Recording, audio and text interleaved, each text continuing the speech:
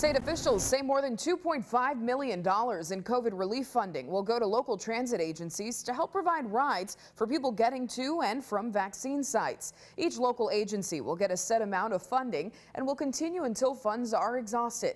The funds can be used to offset costs associated with transit rides to and from vaccination sites for people who are receiving or helping someone receive a COVID vaccine. Governor Cooper is committed to deploying every resource to make sure people have access and are not held back by barriers like lack of transportation. Lack of transportation shouldn't be the reason someone doesn't get their shot.